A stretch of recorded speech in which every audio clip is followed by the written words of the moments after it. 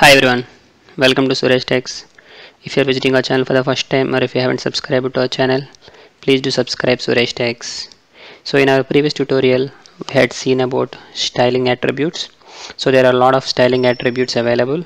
So if you want to provide some basic styling to your application, so we could use all those styles available. Now, and today we will see text formatting so there are some special elements which doesn't require a styling property. That means those elements will be styled already for us. For example for example let me create a new page. I'll say doc type. So this is doc type and then followed by HTML followed by HTML. Okay I'm just saving this as text formatting.html changing the save as type to HTML. Okay now I'll keep body. Okay so currently I'm not keeping the head because currently it is not required section. So what I will do consider I want to consider I have consider I have a paragraph. Okay. For example um, I'm paragraph. Okay. Now let me text formatting. I'm opening this with Google Chrome now I'm paragraph. For example for example if I want to make this paragraph to be bold. So how will I do that? I will give an attribute called style. And then there is a property called font weight where we can specify the bold.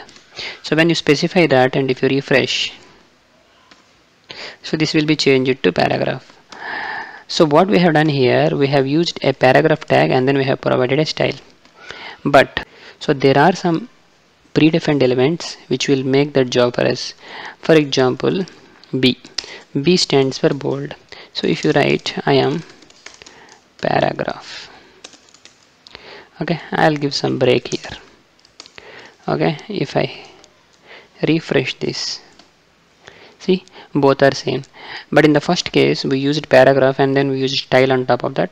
But in the second case it's a bold element itself. So that means there are some predefined elements which will make our job which will make our job easier. Which will make our job easier. So similarly there is something called strong. So this is another element. I'll write um, strong element. Okay. Now if you see okay let me provide some break. Okay.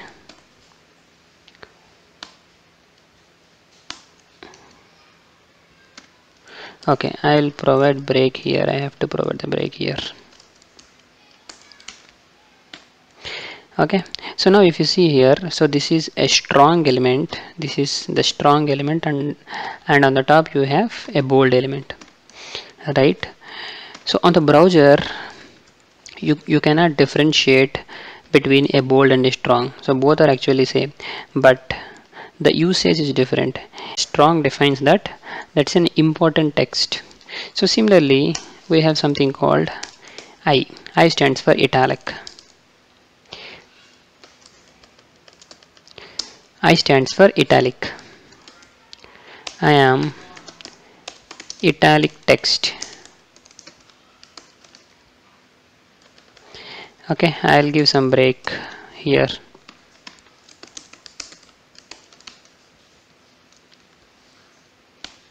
Okay so this is an italic text. Okay I have this here. Okay let me remove this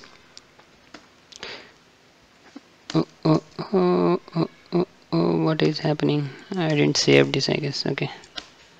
Awesome. So this is an italic text so similarly we do have something called EM so EM stands for emphasized text.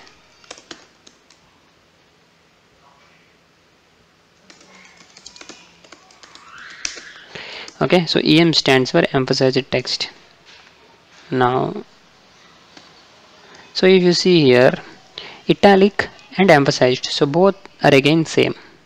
So just like a bold and a strong element italic and an emphasized text both look same on the browser but emphasized is bit important when you compare it with an italic element. So so there should be a question arises. When to use what? When to use italic and when to use emphasized? If the text whatever you are mentioning is an important text then keep it in em otherwise just keep it in i. Now there is something called a mark.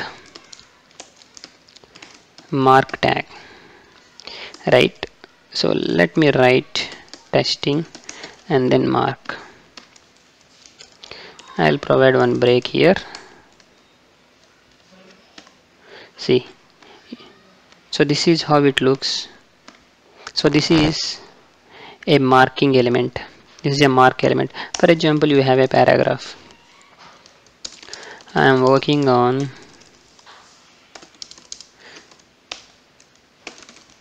Suresh Tech project. Now let me provide some break this looks like this. If you want to mark this particular text so you can use something called mark element. Mark. I just want to mark from here to here. I'll mark it as like this. So this is called a mark text. Now there is something called a small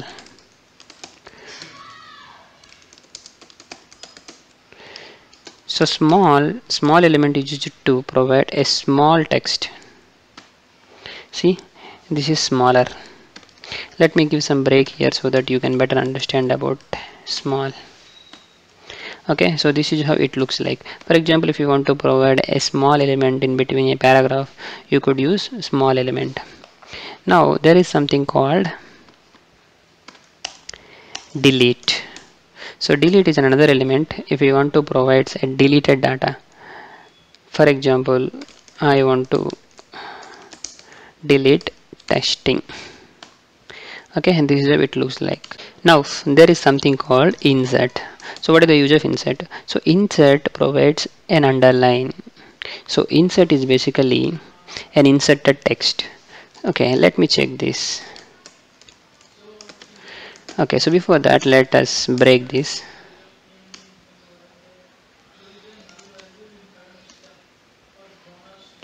Let me save this and let me open this. Okay so this is how it looks like. So there is an underline below this. So there is an underline below texting. So this is basically an inserted text. And after this there is something called subscript text so subscript text is to provide subscription. For example um, you want to write something called h2o so h and then 2 should be subscribed. Should so 2 should should, should 2 should be in the subscription. So I'll write P H. Now H is fine. So now I want 2 to be in the down. So I'll keep 2 I'll close this and then I'll give O I'll close paragraph. Right? Now what will happen? This 2 will come as a subscript text. Again let me save this and refresh this. Right? So this is how it looks like. So if you write it directly like this H2O if you refresh let me provide a break. Okay it looks like that. So it looks like this. So we don't want this. We want something like this. 2 should be in a subscript text. So then in that cases you can use subscript. Similarly there is something called superscript. Okay so superscript which comes in the top for example if you want to write 3 square 3 will write subscript and then 2 and then closing sorry first you have to close subscription and then you are closing paragraph. Let me provide one break here